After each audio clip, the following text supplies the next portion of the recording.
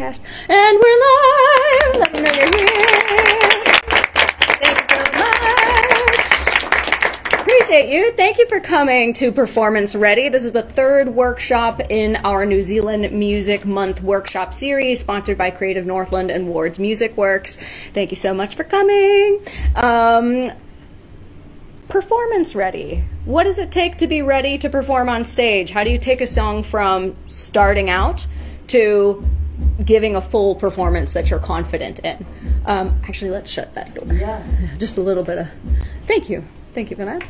Good. Um, sorry, I'm a little bit washed out today. It's something with the lighting and the. Anyway, you can hear me. It's fine. Um, all right, so a lot of the terms that I'm going to use today are terms that I've developed in my own teaching practice, so they're not terms that are um, institutionalized terms, but uh, they will be useful points of, of reference.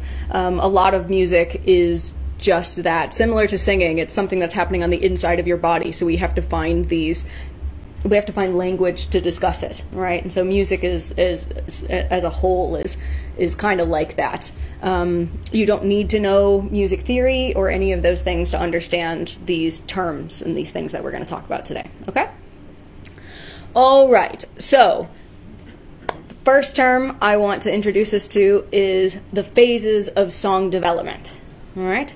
So uh, if you've got a, a, phone or a way to take notes, I'll also be sending this stuff out. Feel free to, to write these things down. Um, and if you want me to send them to you, then send me your email. So you're just going to PM it to me or you'll write it down on that sheet over there. All right, so our first term is phases of song development. All right, and so the first phase of song development, there's three phases. First of all, the first phase is melody melody is what you are doing, right? It is pitch plus rhythm, right? Singing, playing the right notes at the right times, right? So pitch plus rhythm, right? Phase two is execution. This is how you are doing the things, right? So anything physical you need to do to optimize or stop doing to hinder yourself. Right? So, for those of you who attended our singing workshop, if you're holding tension in the wrong part of your body, or in a part of your body, that is something to stop doing, to stop hindering yourself, right? Or something to start doing might be supporting from your diaphragm, right? Or lifting your soft palate, making those adjustments, all right? So, this all falls under execution.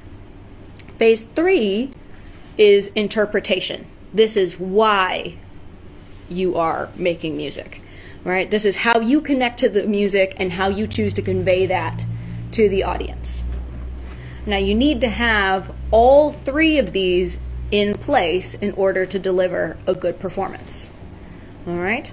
So, let's just do a little thought experiment.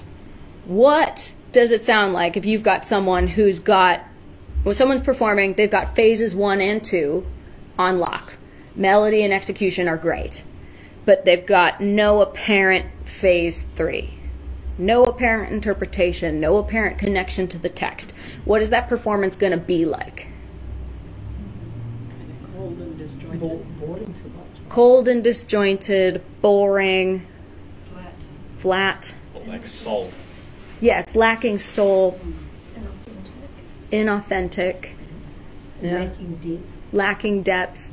Yeah, it's like when you listen to a computer doing something, it's doing what you programmed into it, but it mightn't necessarily have, it might be technically perfect, but it's just missing something fundamental about music, something human. The musicality. Yeah, lacking musicality. You can even program in crescendo and decrescendo and all these kinds of musical things, and it, if it's not delivered with uh, you, have you heard things that are too perfect? We can tell when things are too perfect. We don't like that. Yeah?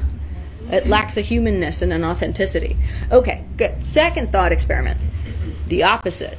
What is someone who's all phase three, all interpretation, all feeling, and no phases one or two? What's that performance like?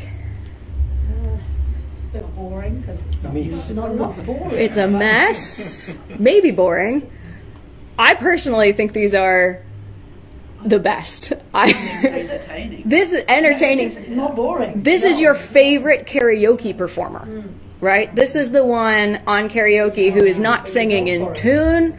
They're not singing the at the right time. They're just, but they're so they're going for it. Yeah, I I love this. Is yeah, this is my favorite karaoke performer. But I'm also not paying to go watch them, and I'm also it's it's not what most of us are shooting for. You know, outside of that particular context. It could be a really good if it was intent. Yeah, good comedy, good comedy. All right. So where most people fall is they've got most performers fall is they've got phases one and three fairly well figured out, and they don't have the phase two stuff figured out. This is what it sounds like when someone's just it's not quite right, but you can't put your finger on it. Right? They're singing the right notes. They're singing them at the right time. They're clearly feeling it, but it's not coming across to you as the listener. Right? And what we want is a TV or like a movie ready type performance. And what I mean by that is when you're watching a movie and you forget that you're watching a movie, you're just so absorbed in it. Have you ever watched a, a live performer like that? You're just so absorbed in it. And because it's live, it's even next level. Right? It's even it's even more so than you can get watching something on a screen. Um, to compare that with where where most people are kind of operating at, um, imagine you're watching nothing against community theater. I love community theater. But imagine you're watching community theater and the whole time you're like, this is pretty good, but you're aware that you're sitting in a theater watching community theater. Do you know what I mean? Yeah. Right. Okay. So that's phase two. Right. There's little things about the the execution that are getting in the way of the delivery of the interpretation. All right. And so phase two is where the bulk of the work is. All right. Okay. Good. That's our first group of, of terms. Okay. Next term that I want us to address is something that I call fluid thought or spinning plates. So, whatever term is more useful for you, run with that. This means doing things in real time, multitasking in real time, which is something that you're doing when you're performing, right? So, as a musician, you are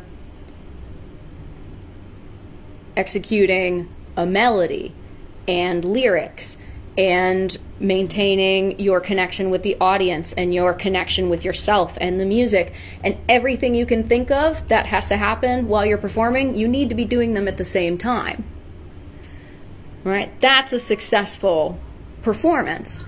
And where a lot of us lose that uh, one of these things within phase one, or our pitch went flat or something like that, we were focusing on something else and lost track of that other thing, right? So, what we need to develop as artists that are working in real time is the bandwidth and the skill set to be able to check in with all these things that we're doing simultaneously without dropping any of them. I really like driving as a metaphor for this because it's something that most of us do. And so when you're driving, you have to be able to look in the rearview mirror m- rearview mirror without hitting something in front of you. Right? That kind of multitasking. Yeah?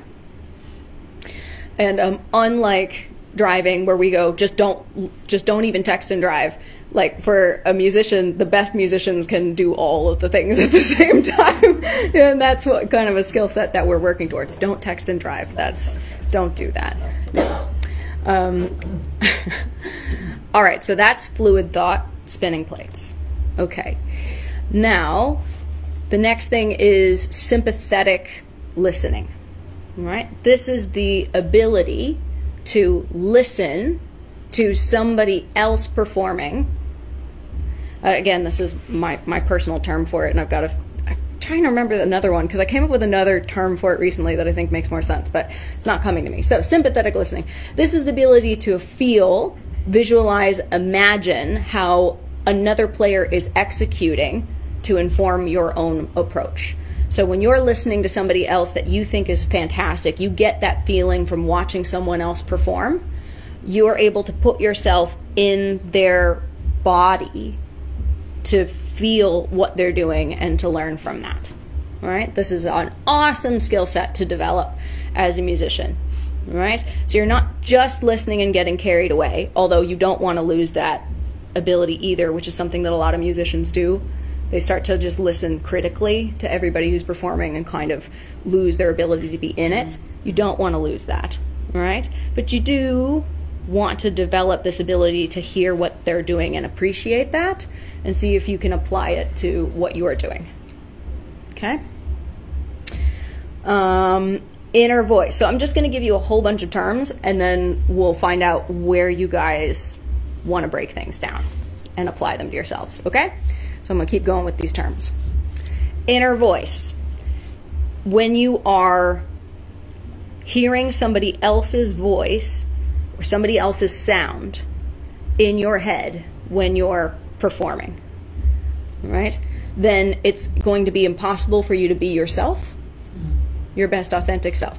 So if you're doing karaoke and you're singing a Celine Dion song and you're sing, you're hearing Celine Dion in your head, you're going to end up inadvertently doing a bad impression of Celine Dion.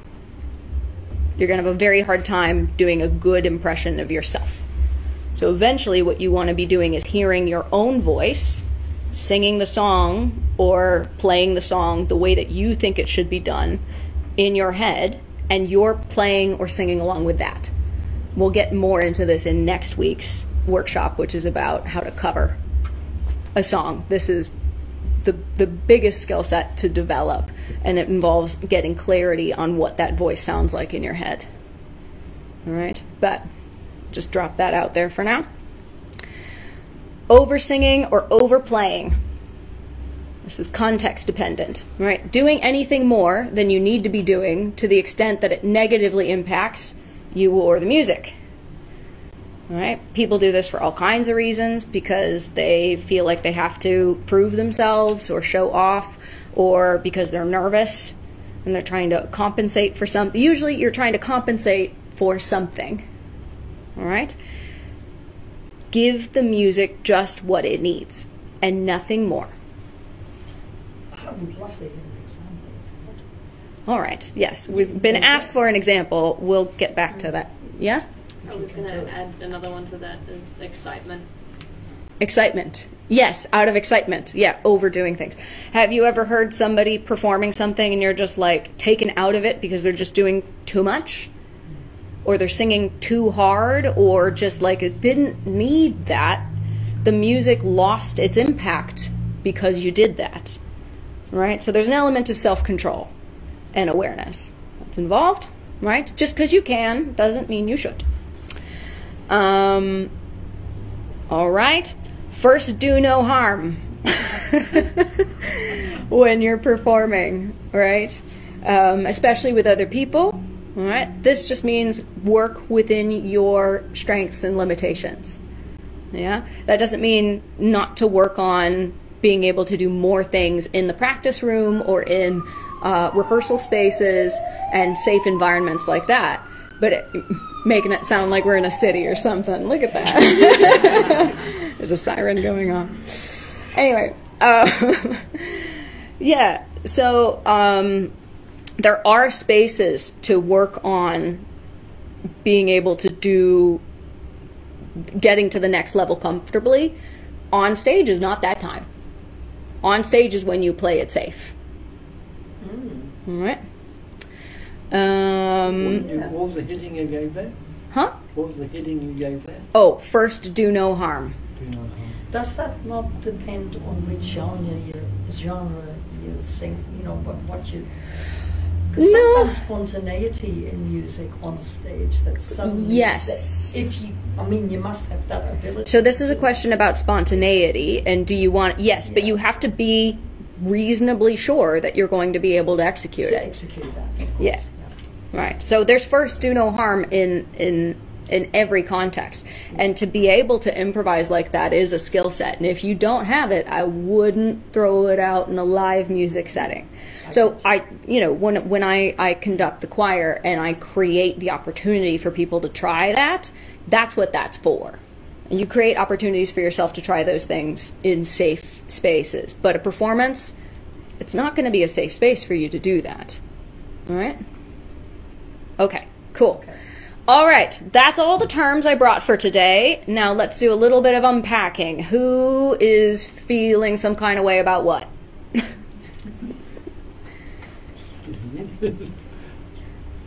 yes. Um, I guess this probably might be a weird one, but I can't hear things in my head. I have Uh-huh. to make the noise Yeah. to hear myself. Yeah. Um, where does that fall for inner voice? So, do you have an inner voice ever? Unless I'm consciously doing it, no. You don't have one unless you're consciously doing it. Okay, but you have one if you're consciously doing it. Okay, so you can. So my inner voice, everybody's inner voice is different, right? Um, when I say inner voice, I don't necessarily mean in songs or words. Like for me, um, my inner voice behaves terribly. Um, it, I I like if someone asks me to picture a house, I can't picture one. It's not like a clear conceptual. Or if someone asks me to picture a melody, I can't necessarily hear exactly the melody in my head, but I have like reference points for it and I know knowing myself, I know when it's solid and when it's not. If that makes sense. So when I say your inner voice, everybody's inner voice is here in here is different. I'm talking about a functionality of being able to reference a, a, a functionality of reference points in your head that you can rely on, right? But if that's not strong, you're going to end up like again singing the Celine Dion, doing a bad impression of Celine Dion. Yeah, she already exists. She's got that. yeah, you do your version. You do you. Yeah. Um, again, getting into next week's workshop a little bit because I'm so excited for it. But So when you're talking about a voice, hmm so you're, if I'm going to think of something in my own voice, I'm thinking in terms of my voice, Yes. yes, someone else's, yes, how I sound. Yeah. Yep. So this is a very tricky thing for people often because um, a lot of us don't actually know how we sound. Are you coming next week? Next Wednesday? Yeah. yeah. Yeah. Okay. Because this is this is literally next Wednesday's workshop is how to develop this. So I thought don't. it was a really good question. It's a great Sorry. question, It's- yeah. It's, um, There's questions about I hearing melo- I can hear lots if you're of melodies, hearing your own voice in your head. Sorry. No, continue. Yeah. Melodies, yes. If I Yeah. think of a song, I hear the melody. Yeah. Eagle song, then it's it's there. Yeah. And I hear So you do have to So learn what your voice sounds like Of and how to strengthen your connection with it in your own head. Mm. If you're a singer, right? But it's the same thing for if you're a guitarist or a pianist. You have to get your your touch, your tone, the things that you're going for clear in your head. So do you hear your own voice? You said it was all over the. So the, very. Uh, you, I- you- I you- can. Can you hear your own voice when you're not singing? Yeah, and it's like the difference between the voice that you hear in your in your head is not your voice. Mm. right? The voice that you, when you're listening to yourself talk, you're not actually hearing what everybody else hears. No. You're hearing yourself via bone conduction, Yeah. right? And so that's more sonorous and lower pitched and it's in your head. Whereas when it travels across the air, you've heard yourselves on recording? Yeah. How many of you hate the sound of your voice on recording? No. Yeah. No, not anymore. Most people, not anymore. Not anymore. That's a good, Yeah, that's, that's a good exactly saying. it. Yeah, right. is most people hate the sound of their voice on recording and again i will get into this next week but there's there's reasons for that and that's why it is such a confronting process to to to start to be able to actually hear your own voice Mm. okay putting that down for now getting into into this stuff there's there is so much overlap you asked for an example of over singing or Yes. yeah, but what overplaying. Because you, you, you think of rock, I think of rock, I think of rock artists that suddenly, ah, yeah, yeah, you know, and they make a whole. But it's actually, it, you know, when you think of these rock artists, how they. Uh, Well, it sounds like it sounds like those artists that you're describing are doing a lot, but it serves the song. Yeah, it's so. So you can do a lot So it's over. that serves the song. Over singing or overplaying That is is just when you're doing something that doesn't serve Okay. the song. Example. Right. Okay. Let me see. I used this one earlier, I think. Watch the come alive in your hands and watch it slip away once again. Here in the half light, you see yourself too clear until the night comes on and finally you disappear. Okay, so that's appropriate, right? Absolutely. So let's try it. Watch the moment come alive in your hands and watch it slip away once again. I would consider that over singing for what the song country, needs. country. Yeah, yeah, yeah. It becomes country, so it's to me that is still it's it that still gives me something Yeah, yeah, yeah. when you. It, it does. Yes. No, that's good. Yeah, yeah. Okay. All right. Let me do. Let me see if I can do a better job. People liked that. Is was what people is yeah, what. I liked it. All right. Let me see. We can see what you're saying, we still. I could say yeah. No, I'll try to do a. I'll try to do a better job of, of doing that. Um. Over shouting maybe. Or something. Yeah, yeah, yeah. Was giving it more than it needed in More my opinion. But dynamics. yeah. So there is. Oh, I suppose this is a really good time to point out that this is subjective. Right? There are Yeah. things that are objectively Yeah. objectively poorly done, I suppose, by most people, you know. Or uh, oh, there is there is a singer that went viral for these anthems that they sang in American, and we're in New Zealand, so people aren't going to know that. Uh, people aren't going to know that reference. Um, but uh, have you ever heard somebody sing? So like this is a thing in the states. It's a it's, it's a very contentious thing about people singing the national anthem and doing all kinds of stuff with it. Right? Um, so, oh, say, can you see by the dawn's early light? Ah, that. Does that make sense? Yeah, I You didn't like that. a lot Okay. sort of copy that of each other as well. Yes. So you, that's not your own then, and I find to me that's over singing. Right. sometimes. Okay. Yes. Okay. So They do over singing, it, but over singing the- the- the can moment. mean a lot of things. It's context dependent. Right? So it's it is subjective. There is subject, subjectivity involved and it is context dependent. Yeah? So um, over singing might mean um, adding more notes, embellishments, we call those, than need to be there.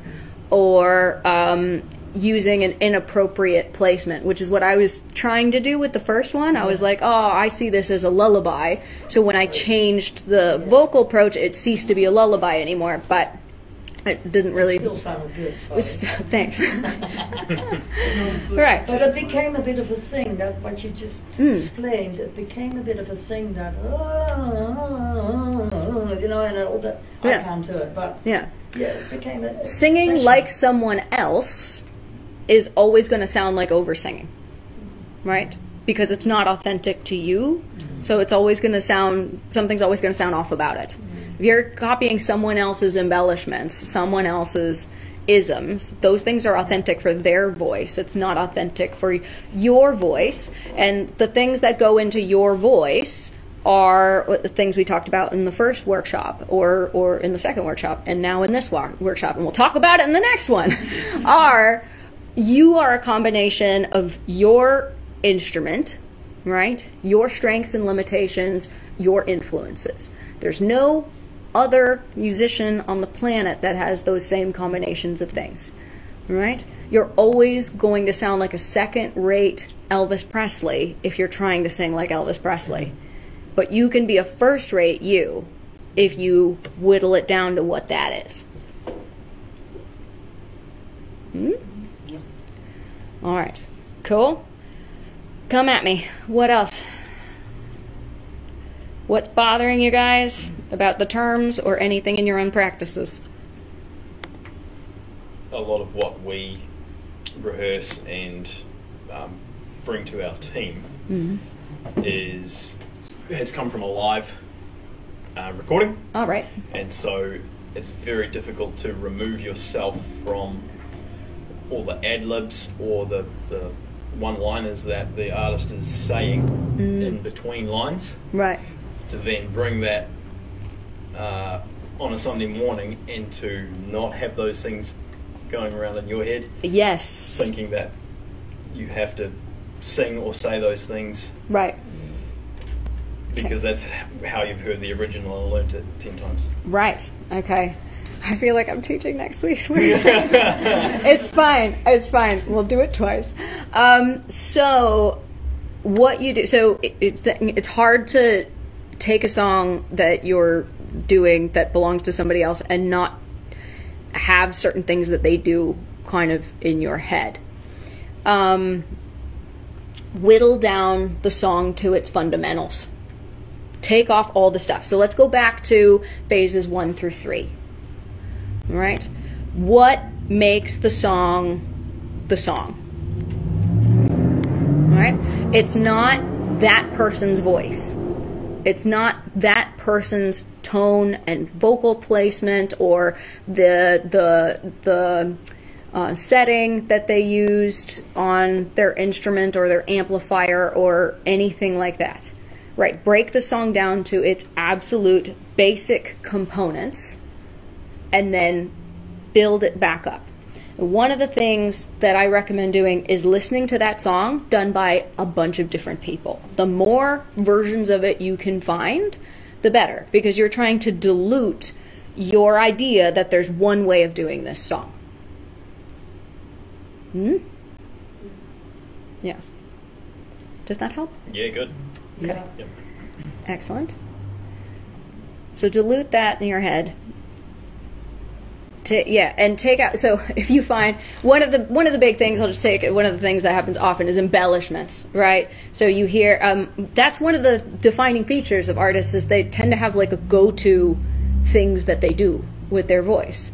And then it's really obvious when someone else is mimicking them because they end up doing this go to, and you're like, hey, that's that person's thing. You know, that's probably not your thing, also. You know, because that's a very identifying feature of that of that person and things like that. If embellishments, everything, strip it out of the song, take it down to its basics, right? Just pitch, rhythm, what is necessary for the song, and then build it back up only with things that feel authentic to you. Hmm? So let's say you've got your own song and you've embellished it to the point where you're happy, but it's, it's still not hitting right. Like, how do you shift your perspective? So, you, like at the start, you're saying polishing a song. Like, Mm. um,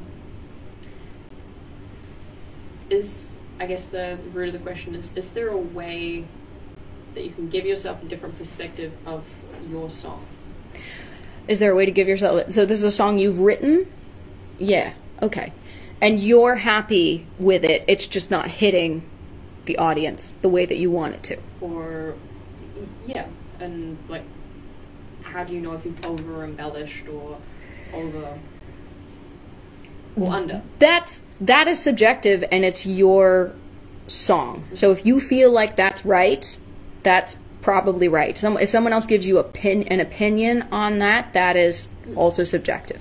i was But- thinking more like maybe recording yourself and Mhm. listening back like kind of in, in that sense like how to get a, a different how to get a different here's what i think is here's an exercise that i think is great it's called in the style of so to kind of drive home the point of what i was just saying um, try singing your song or any song you're working on in the style of someone else. Right? A couple things will happen there. Right? You will figure out it's kind of cartoony and all that kind of stuff. And you'll figure out what's clearly them, but you'll also figure out what's clearly not you when you do this. All right. So um, we could do this as a as a group real quick. Let me. We're gonna do um, um, "Only Fools Rush In." Okay. So everyone's gonna sing. We're do- does everybody know this song? Gonna do. Wise men say only fools rush in, but I can't help falling in love with you. Good. Now, everybody put on your best Elvis Presley voice. We're going to do it all together. Yeah, I want you to oh, copy him. All right, just that much of it, and we'll see what we got. Two, three, four. Wise men say only fools rush in, but I can't help falling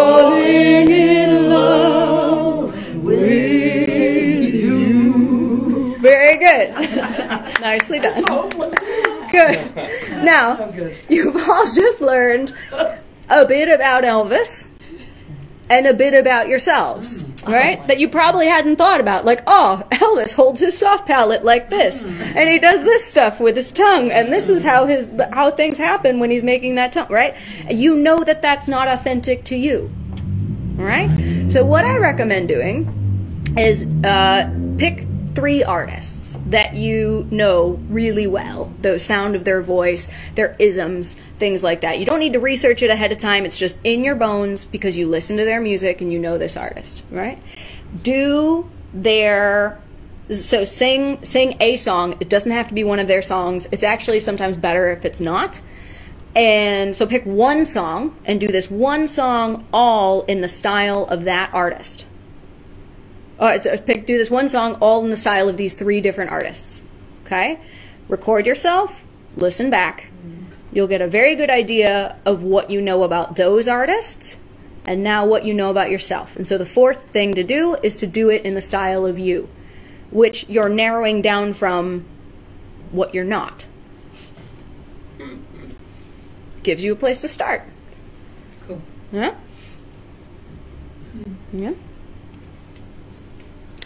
All right. Polishing is a question that was brought up. So let's talk about that. Okay? You've got say you've got phase so phase 1 is in order. Phase 1 has to be in order for things to for you to polish anything. All right? Phases 2 3 so I say phase one, two, three, but they're not exactly linear. It's just hard to work on phases two or three if you can't first sing the melody right? It's hard to work on interpretation. Your interpretation is not really going to come through, even if you have that connection to the text, if you're not supporting enough for the, or your, if your technique is not there for it to actually come out well, your your interpretation is not going to come across, right? So that's why I kind of introduce them as one, two, three. But you could have a phase two uh, reason that your phase one is out, right? So say you're flat. It's not because you you're singing something and it comes out flat, right? It's and it's not because you don't know what the note is, right? That would be a phase one thing. If you didn't know what the note is actually, that would be a phase one issue, right? This, what if it's just that you know what the note is, but you just can't reach it? That's a phase two issue. That's something you're doing physically that you're not executing and can't get to that note. Okay, so there may things that be, there may be things that register as a phase one issue, but if you look at it deeper, it's somewhere else that that's not coming through. Right? I think the most frustrating one is when people go, "I am feeling the song. I do know what I'm feeling," and it's not coming across, and it's because there's something in one and two that's preventing it from coming through. Most of us are coming to music with a strong sense of phase three, the why, and what we're trying to communicate. Right? So that polish, what that is, that polished performance is when someone has the one and the two down on, on lock. So that it can be all about phase three by the time that they're performing and they can be in that. And they can be using their fluid thought to check on anything in one and two to make sure that that's still working that's all still there. You know but they're the majority of their bandwidth by the time you're performing is in phase three it's in being in the moment and in the emotion of it of of whatever it is that you're trying to articulate hmm? so there's a lot of skills that are developed a lot of time in the practice room to get yourself to a sp- so you can hear i can hear and you probably can hear even if you're not sure what you're hearing you can hear when someone's thinking about their their playing and not actually in the emotion of what they're playing. Right? So let me see if I can do this. This is tricky for me because I'm very well practiced at like having all these things. So I, I've got to like consciously let a ball drop, a plate fall. Um, now I'm thinking of it as juggling. You guys are following, right? It's juggling. It's plates. It's all right. So let's see. Mm. The water is wide, I can't cross o'er, and neither have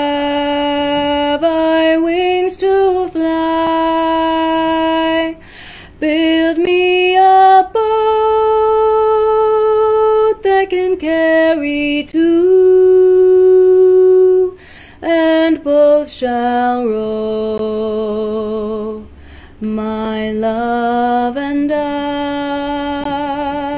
Yes. No feeling. It's not technically wrong, No. right? It's not technically wrong. And it's not even just that there was no feeling. I was trying to let oh. specific balls. Sorry. No, no, no. No, no, no. That's the point. I was trying to let specific balls drop, but not the feeling one. But you see how when those other balls drop. Everything else kind of goes to the wayside, right? Okay, so let me put it back in place. It was still boring. it was boring. Yeah. Thank you. yeah, yeah, no. I know you. I did it right. You, yeah. you can no. do that beautifully and Yeah. Give it away. Mm-hmm. It's- This is a fun part of this workshop. You gotta give a song away. Yeah. All right. So, here's an important thing about performing is being ready to perform in your body, in your everything. Your audience will forgive you for taking a second. In fact, it becomes a part of the performance. Okay? So, want to see? I'm not warmed up.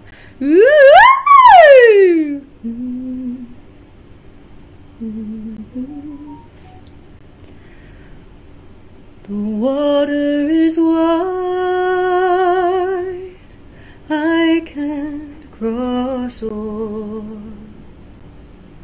and neither have I wings to fly. Build me a boat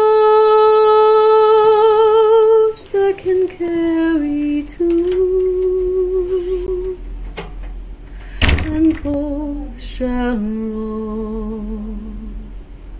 my love and I.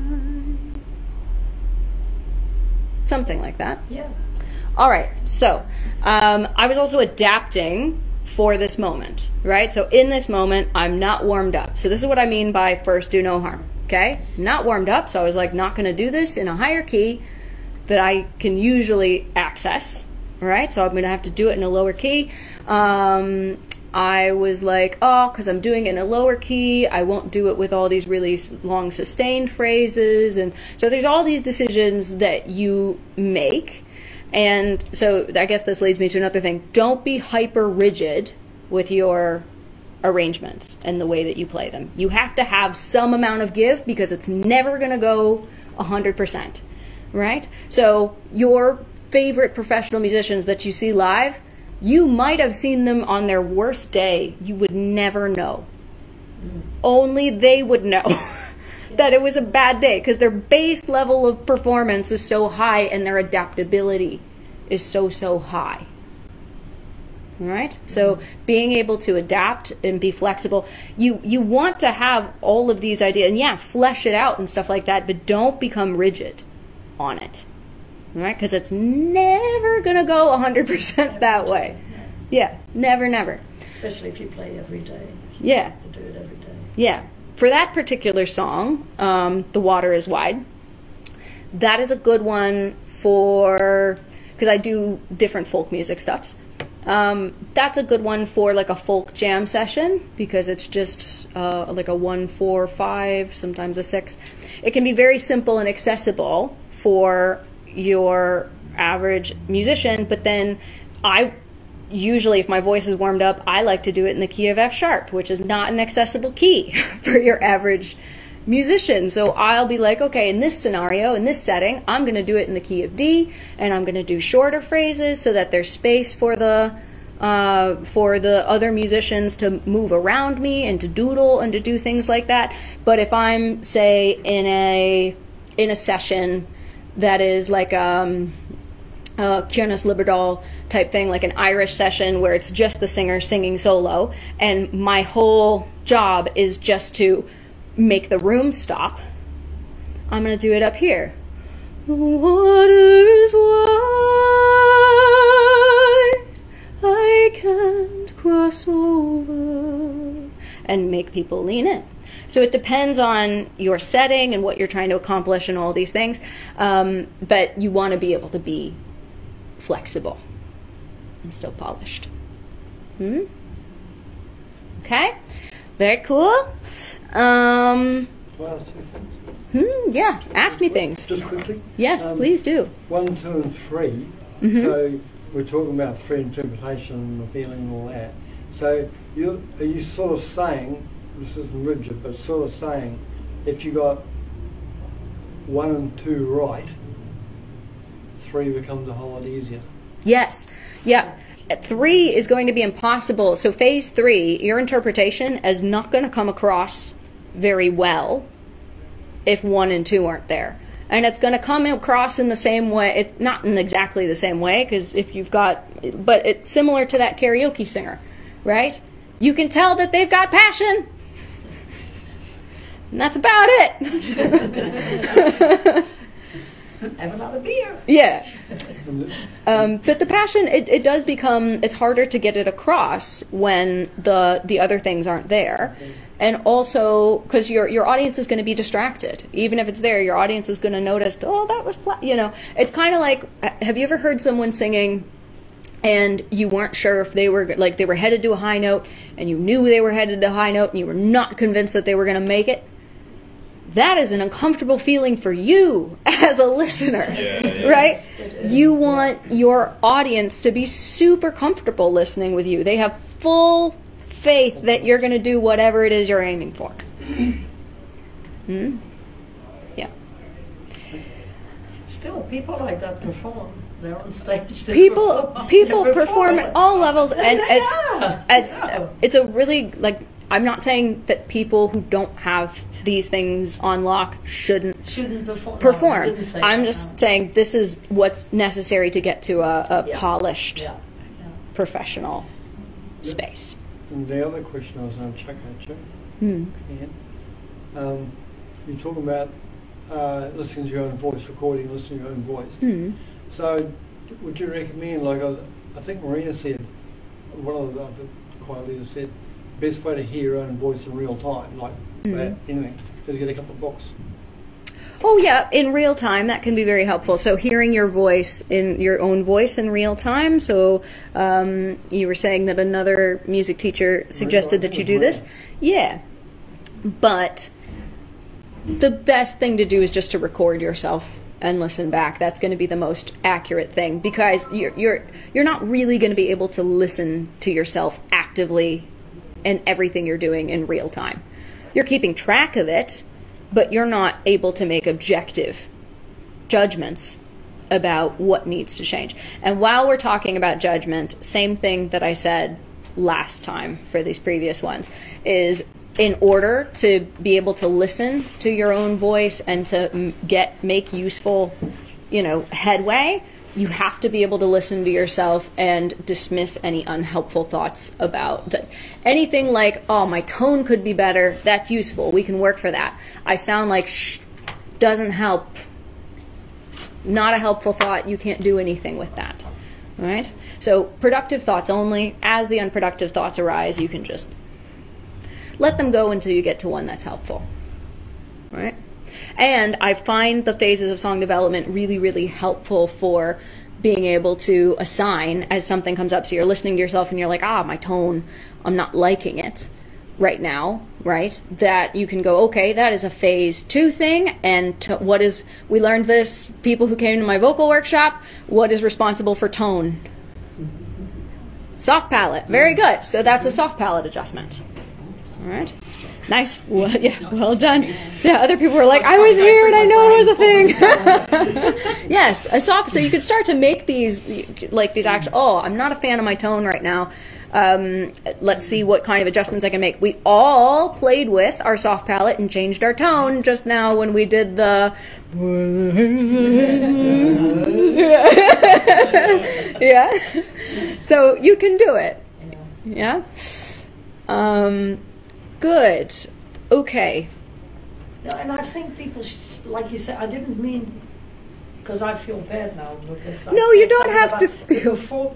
I think people should perform too. Because Yes. they've got courage. Yes. You, It's it's something about courage too. You can have everything, yeah. but you still have to be able to go onto the stage and do it. Yeah. Well, So while we're another thing. It's while we're week. talking But- about the benefits of singing, whether you reach this polished stage or not, what are they? Developing courage, Confidence. confidence, Experience. experience. experience. So you need to go on stage when you can't Yeah. do everything because you need that experience. I t- yeah, sorry. A connection to yourself. connection to yourself when you're performing Mm. and, And you and just it, just in the practice you room you can get into it and you- yeah yeah. yeah, Yeah. A connection with others if you have an audience Mhm. yeah Control. Control. Mm. yeah? You're it, it's a full body mm. thing. Yeah. and it, so it's really great for your this is why playing music is one of the like the number one recommended thing for developing brains for like so for youth people who are in mm. school like kids in school Yeah. if they're in music studies show that they're more likely to be successful at everything else mm-hmm. because music involves rhythm, which is math. Mm-hmm. It involves, it's very physical, right? So, uh, yeah, it's all the things, you know. And then if you've got teachers that are working with you on historical context and emotional regulation and all these things, they can all be woven in there. And so they're, they're, it's just good for you in general and then it's you engage your your vagal nerve when you sing and so that is like your serotonin and all of your feel good emotions and um, we talked a lot last week about songwriting for emotional regulation and connection and listening to music for that reason um, yeah it's just an all around good thing to do even if you're not performing at a at a certain level. But if you want to go towards performing at a certain level, these are the things that you need to start becoming aware of. Um, some things that come up often um, is uh, that uh, so common mistakes. I'm just going to write these down. I already told you about over singing and stuff like that. Um, oh, sympathetic listening. You do that. Yeah, that is another term that I brought up. You also used that in order to mimic.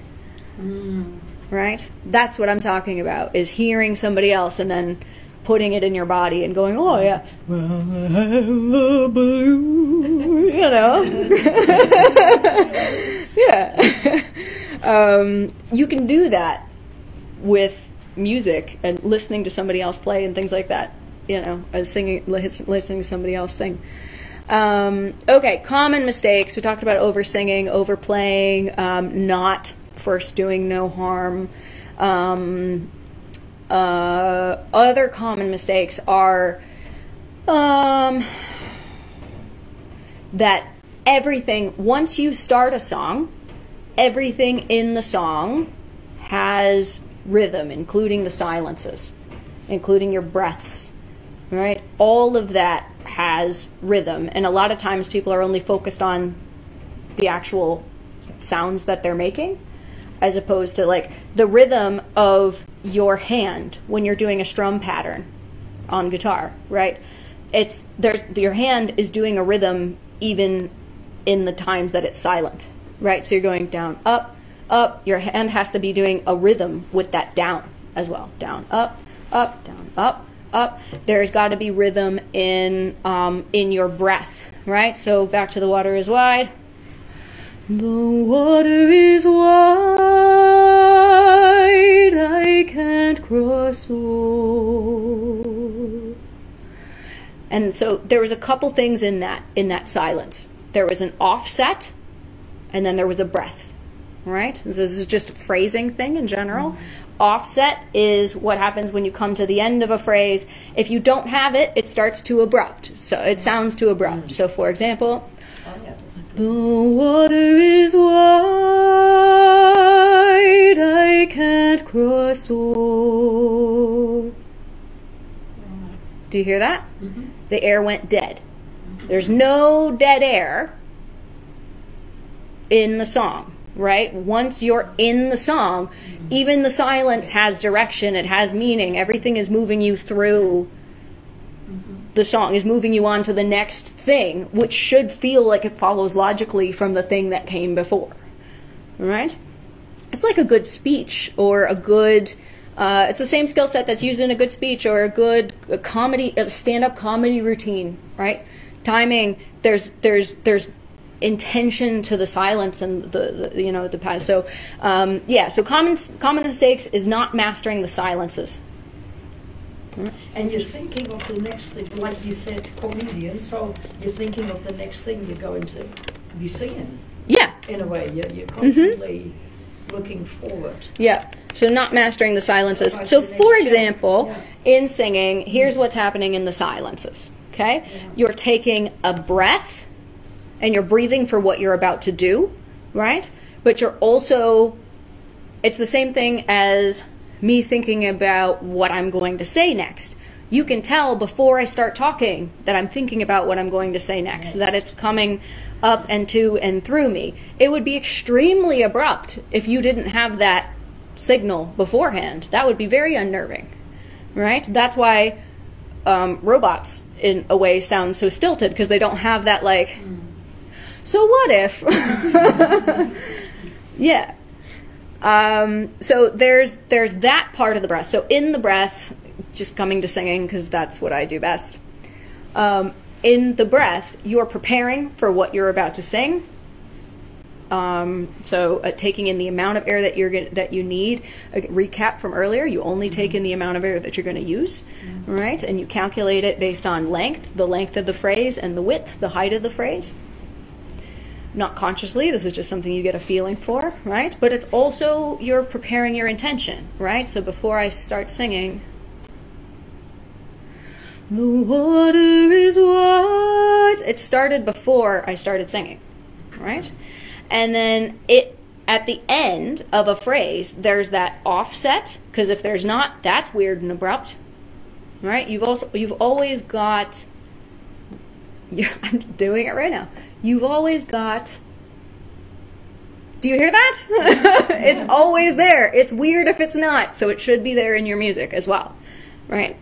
Um, so there's your breath there's your phrase and there's your offset and there's the preparation for the next so your silences have to be well used that's one mistake that people often make they don't think about their silences they don't they don't use them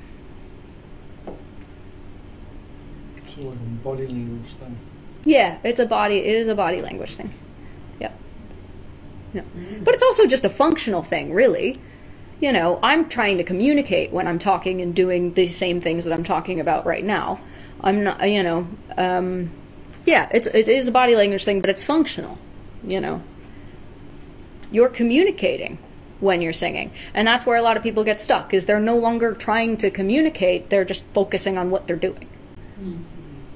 You should be communicating. And if you don't have the bandwidth to be communicating when you're singing or performing or playing anything, then you have to you've got a ways to go working on your fluid thought to develop that bandwidth.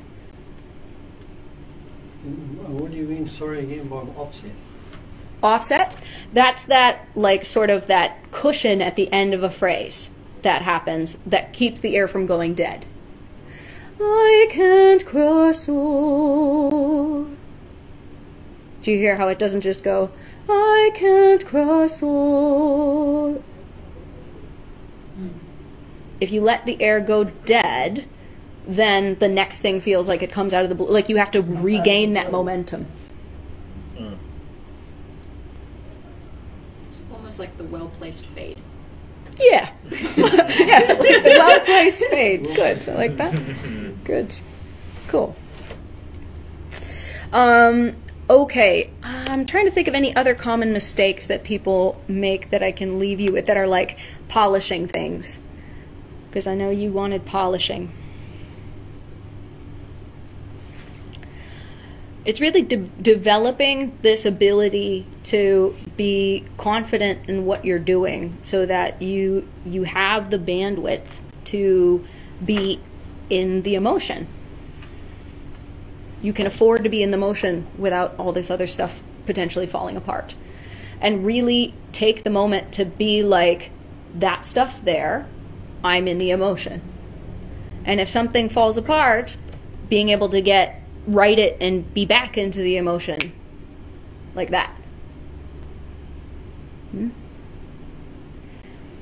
Um, good. I think that's all the things that I have today. Do you, do you ever forget words when you sing? Do I ever forget words? Yeah. I- what, what, yeah. I don't often forget words to songs I've written. Mm-hmm. I forget words to songs I haven't written all the time. I'm someone with a very, very bad memory, actually. Like, and so I have, I, I'm very used to using an app on my phone for that kind of stuff. On stage? On stage, even. Yeah, yeah, yeah. And I get the, a very interesting comment from people. They go, Oh, I usually hate it when people are reading lyrics on stage, but I don't mind it when you are. And um, and that leads to this belief that, which is a very ableist belief, that people shouldn't be singing if they can't memorize the words. A lot of people can't memorize words No, for all kinds of reasons. I changed that. That's fine. Um, it's de- it's developing that same skill set of being able to check in with all these things without dropping all the other things. That's all it is. You know. Yeah. So that's not a biggie. No, it's not a biggie. So, so you say, how do you remember the words? No, you don't. Uh, I don't. I have. I'm in nine bands. I have I have more than 500 songs in my repertoire. I don't remember them. I don't remember a lot of them. I know them as soon as I have a little bit of a reference, but I often will give myself that reference. I don't need to be a It's a, jukebox. it's a visual reference. Yeah, it's a visual reference. Yeah, Cool. context reference. It's a. It's a context reference, but it's the same thing as in your in your head, that inner voice I'm talking about. I'm not hearing it exactly. I have all these context references for, oh right, I'm gonna sing this, which means that my support needs to be here and my spacing is gonna be here and all this, you know, that like, kind of stuff. Like a muscle memory trigger. Yes. Right. More like that. Hmm. Cool. All right. I know we did a lot of next week's in this one. Yeah. Um, so I'll think about that. I'll think about how I'll expand next week's a little bit and, and stuff like that. But um, Just do it again. I've probably forgotten. yeah, I'll have forgotten already. Well, um, yeah, cool. If anybody has any other questions or follow up or things, you know how to get a hold of me.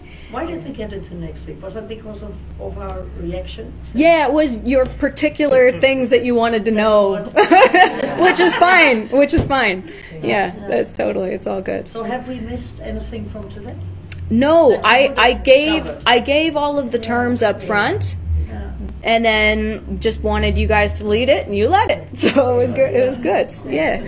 Um, cool. All right. I think that's us. So everyone, give yourselves a big round of applause. Thank you so much for coming. Yet another workshop, uh, same time next week, same place. See you there. Thank you.